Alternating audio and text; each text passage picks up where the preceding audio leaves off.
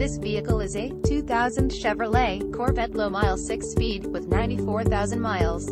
Brought to you by Desert Auto Dealer. This Chevrolet is a two-doors vehicle with 8 cylinders.